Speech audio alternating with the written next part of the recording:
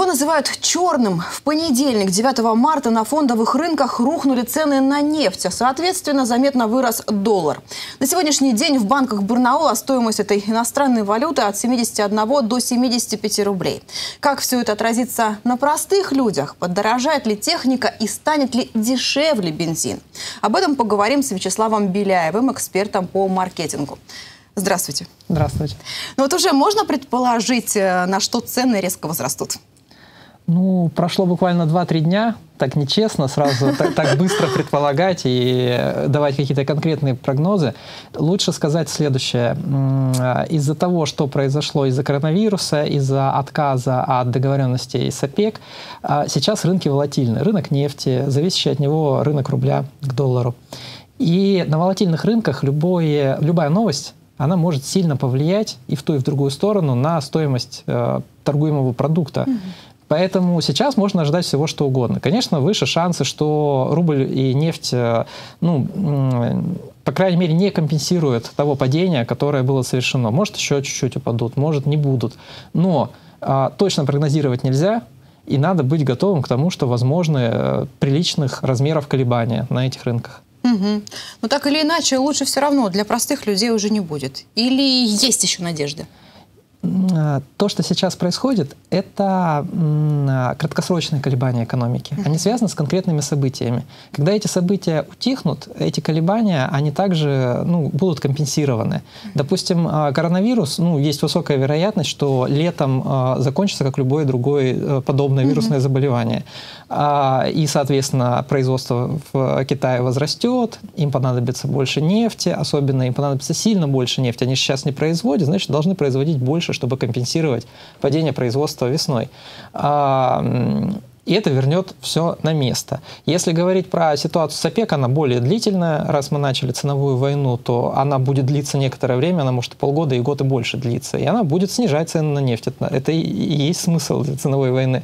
А, но тем не менее, в какой-то момент она тоже закончится, все придут к какому-то а, согласию и будут ограничивать поставки нефти, как это было с 2014 года. А, так что все это а, может быть среднесрочные, но все-таки временные колебания. А есть общий тренд, а, а общий тренд такой, что на рынке нефти, от которой мы сильно зависим, производство увеличивается а, глобально – а потребление, оно либо стоит на месте, либо сокращается. И в итоге, если смотреть на какие-то прям длинные э, промежутки времени, там, на 10 лет вперед, цена на нефть должна объективно постепенно падать. Что это означает для экономики России, ну, я думаю, все понимают. Ну, для курса рубля что это означает. Так или иначе, уже сегодня прочла, что бензин не подешевеет. И не должен и не будет этого. Я, нельзя давать точных вот каких-то таких твердых оценок. Я люблю использовать формулировку. Я очень удивлюсь, если бензин подешевеет. У этого есть объективная причина. А, мы видим цены на бензин в рублях, а не в долларах. Если посмотреть на цену на бензин в долларах, то, ну, скорее всего, он уже подешевел в долларах. Mm-hmm. Понимаете, бензин, нефтепереработчик наш, российский, может продавать внутри страны, а может за пределы страны. И если ему выгоднее, получается, за пределы страны отдать по долларовой цене, зачем ему продавать внутри страны? Так что, а, скорее всего, рублевые цены, они будут на одном уровне, но при этом надо понимать, что долларовые цены, они даже при том, что рублевые на одном уровне остаются, они падают. Угу. Но я все хочу нашу с вами беседу в такой более, что называется, ближе к людям формат перевести. Что делать? Э, вот еще накануне а, в обменниках ажиотажа не было, и, в принципе, и кассиры говорили, что там очереди не выстраивались. Или все же стоит?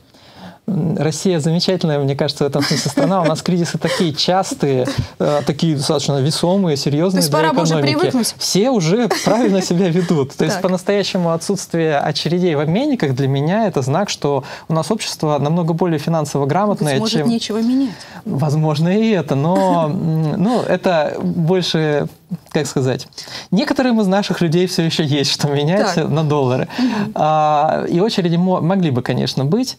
То, что их нет, это какая-то финансовая зрелость для меня. По-настоящему э, когда начинается э, вот такая нестабильность, какой-то кризис, даже если он краткосрочный, э, надо понимать, что кризис это в первую очередь вот эта самая волатильность, это резкая реакция рынка на любые новости, и значит э, с валютой может произойти все, что угодно. И, соответственно, вот прямо сейчас бежать и менять, это ну, нерационально, потому что ты не знаешь, выиграешь mm-hmm. это или проиграешь. А, все, что нужно было сделать э, для того, чтобы подготовиться к кризису, нужно было делать до кризиса. А в процессе кризиса надо ну, вот, примерно жить, как mm-hmm. ты жил. Уж mm-hmm. смириться с тем, что ты что-то потерял, mm-hmm. порадоваться, если что-то приобрел внезапно. Э, но в процессе кризиса очень сложно рационально как-то mm-hmm. управлять своими э, активами. Mm-hmm. Ну, еще несколько лет назад мы с вами помним, когда, вот в частности, в Барнаул жители Казахстана к нам активно ринулись и скупали угу. с полок все, что видели, и технику, и автомобили. Вот подобное произойдет? Тогда это было связано с тем, что наш Центробанк э, сразу и очень э, громко заявил, что э, держать курс валют не будут. Угу. Все услышали это заявление и действовали, соответственно, ему. Все понимали, что рубль будет падать, все активно продавали рубли, от этого рубль еще сильнее падал. Угу. В общем, у нас получилось, что да, рубль быстро и резко падал, но при этом мы не транжирили там резервы золотовалютные, например, которые могли уйти на стабилизацию курса. А Казахстан долгое время держал свою валюту. А, по-настоящему их экономика тоже очень сильно зависит от нефти. Снижение а, стоимости нефти в 2014 году должно было привести к падению курса тенге относительно доллара, но они держали валюту. И в этот момент люди абсолютно правильно поняли, что это прекрасная возможность в России купить дешево, обменивая, грубо говоря, тенге на рубли, пока такая лафа есть. Угу. Как только золотовалютные резервы в Казахстане начали заканчиваться, они отпустили а, курс тенге, он сразу резко рухнул относительно доллара, там за несколько дней прям очень сильное, угу, более сильное, угу, чем в России угу. было падение. А, и все стало на круги своя. Сейчас, опять же, вот говорить, поедут они к нам или нет, можно только зная, как себя будет вести ну, Центробанк Казахстана. Если они опять будут держать валюту, да, теоретически возможно, что у нас будет некое падение, а у них не будет. Но с другой стороны, все такие игры возможны только при очень резком а, падении валюты. То есть а, тогда валюта там, с сентября по декабрь упала в два раза. Ну, рубль я имею в виду, там, упал в два раза. То есть если сейчас с 60 до 120 а, рубль упадет за 1 доллар, вот тогда, наверное, казахам имеет смысл сюда ехать. Пока падение с 60 до 70, это просто невыгодно. Ну, как вы думаете, пределы роста какие? Вот прогнозируют, что и до сотни а, за 1 доллар придется отдавать? Это если а, будут еще негативные новости приходить разного характера. Усиление mm-hmm. коронавируса, резкое, а, допустим, ослабление китайской экономики или, например, китайская экономика входит в кризис и из-за коронавируса, и из-за каких-то накопившихся экономических, теоретически такое возможно. Если новостной фон останется таким, какой он есть сейчас, каких-то резких колебаний рубля не должно быть. То есть сейчас объективно в реальной экономике нет причин, по которым рубль должен резко падать относительно доллара. Но предсказывать, что там будет с этими новостями глобальными, э, я не могу. Угу. Да и никто не может. Ну, то есть Поэтому... на сегодняшний день, в общем, можно только предположить. Конечно, правильно? конечно. Причем я говорю, можно предполагать абсолютно все. Вот да. монетку подкидывать, это, вопросе. да, это угу. вот тот уровень. Э, у вас будет тот же уровень шансов э, правильно угадать, как если вы будете слушать умных экономистов. Ну и получается, если говорить о стоимости, увеличении стоимости всевозможных товаров, то в принципе ее тоже не стоит ждать вот прямо сегодня, ведь какие-то запасы сохранились закупок по прежним ценам? Или продавцы сейчас сыграют на свою руку? Это вполне возможно. Может То есть, такое да? Ситуация какая? Есть рынки, на которых сильная конкуренция. И на этих рынках поднимать цену, когда другие не поднимают, опасно для mm-hmm. объемов продаж. И там продавцы не будут поднимать, пока есть возможность не поднимать. Если на рынках ситуация э, менее конкурентная, допустим, там 3-4 крупных игрока, которые могут между собой согласовать позицию. Вот не 300-400 магазинов продают один продукт или там несколько тысяч магазинов, а 3-4 игрока крупных тогда там возможен ценовой сговор, и они могут там пораньше поднять цены цены, скорее всего, на те товары, которые мы покупаем из-за рубежа, они, конечно, вырастут. У нас уже курс упал. И вот на эти проценты, на которые курс упал, цены вырастут. Действительно, на разных рынках они вырастут а, ну, на разный размер и с разной, что ли, скоростью. Если товар такой, который хранить невозможно, его надо купить и продать, на них цены быстрее вырастут. Если товар подлежит хранению и не устаревает морально, пока его хранят, на него цены могут довольно долго оставаться mm-hmm. на этом уровне, пока есть эти самые mm-hmm. складские запасы. Ну, мне кажется, заметно потеряют или уже потеряли турагентство. Они, да, и они ну, всегда Но почему бы им всего. тогда не э, понизить стоимость путевок? Потому что не очень хочется работать в убыток себе.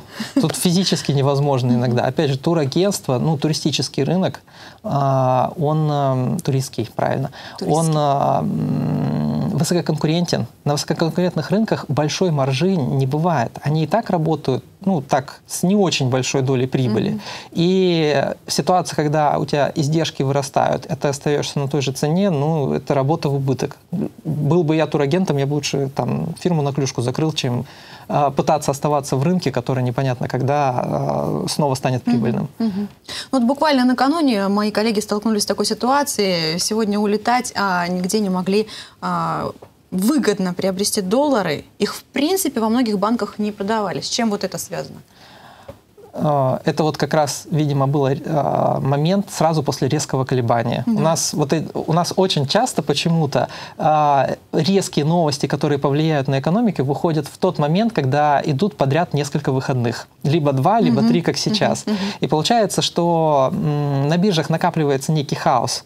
Мы в России видим, что там зарубежные биржи штормит, а сами ничего сделать не можем, потому продать не можем, купить не можем, потому что биржи не работают в данный конкретный момент. И когда биржи открываются, все радостно э, пытаются что-то с этим сделать, как-то на этом сыграть. А, и в тот день, ну, допустим, для нас это вторник был вчера, тот день, когда биржи открываются, конечно, никто не знает, что делать. Вот э, я банк, продавать валюту населению или не продавать, или немножко притормозить. Да черт его знает, да, надо да. сначала разобраться. И еще тут влияет очень простая вещь. Мы в Барнауле на 4 часа живем в другом э, времени, mm-hmm. чем Москва. Москва просыпается в 8 утра, а, значит, до 12 часов дня по Барнаулу все просто не знают, что можно делать, а что нельзя. Из Москвы, ну, грубо говоря, команда еще не пришла. У каждого конкретного банка и так далее. Так, и все же я понимаю, что, в принципе, эфирное время не ограничено, и нужно какой-то итог подводить. А мы не даем прогнозов, но если предположить, вот какое будет дальнейшее развитие событий? Вот, в частности, вы. Угу. А, как смотрите на эту ситуацию? Спокойный, размеренный, привычный образ жизни или все же какая-то паника, в принципе, присутствует? Волнение, там, в завтрашнем дне, неуверенность и так далее? А, краткосрочная паника какая-то будет. А, я не думаю, что она какая-то длительная. А, люди давно не были в кризисе, надо вот срочно побывать а, ну да, в этом психологическом заскучали. состоянии, конечно, оно же такое привычное для так. нас, да. Угу. И тут внезапно долго кризисов каких-то резких таких не было. Давайте поиграем в это.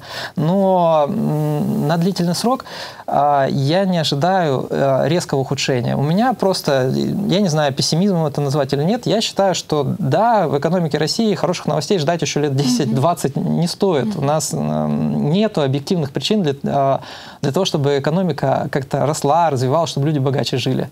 Я в этом пессимизме очень удобно живу, и э, как бы просто достаточно часто возникают ситуации, когда оказывается, что этот пессимизм правильный. Просто с этой мыслью Да, то есть я не надеюсь на то, что там а, в целом россияне будут жить богаче. Как бы ни печально это ни звучало, но с точки зрения какой-то такой долгосрочных периодов и длительной экономики, факторов, которые объяснят, а, как Россия станет богаче, их меньше, чем факторов, которые объяснят, как Россия станет беднее. Вот на этой грустной ноте да. мы с вами заканчиваем наше интервью. Спасибо, что нашли время, пришли к нам в студию. Угу. Спасибо.